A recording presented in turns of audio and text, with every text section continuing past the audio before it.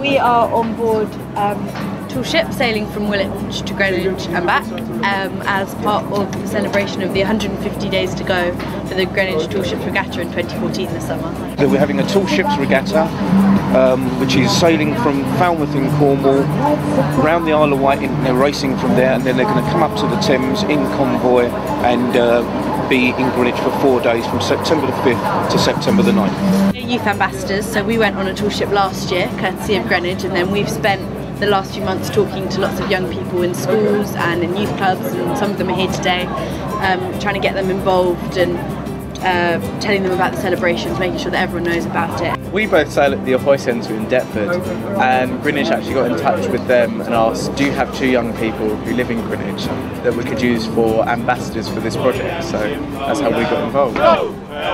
It's a tremendous opportunity both for Greenwich but also for London as well. It'll be the biggest uh, tall ships event in on the River Thames, we think, for at least a quarter of the century, and the biggest event in London since the Olympic Games.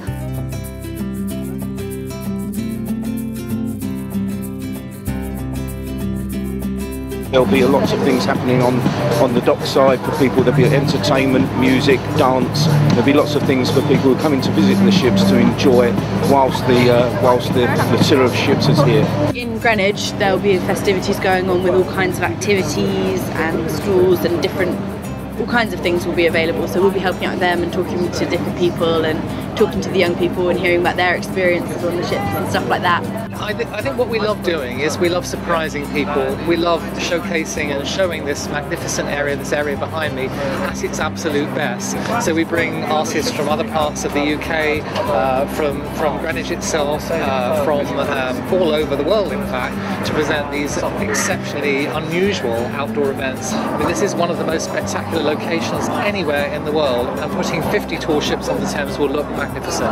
It's going to be fantastic.